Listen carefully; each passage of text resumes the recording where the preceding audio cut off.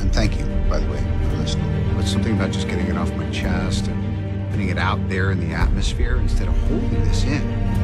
I mean, this is what gets people sick. Wow. I had no idea you were such a good listener.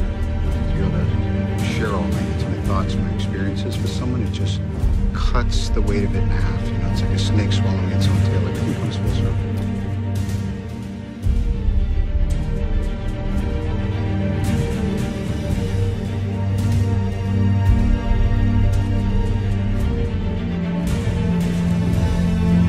Where did I lose you?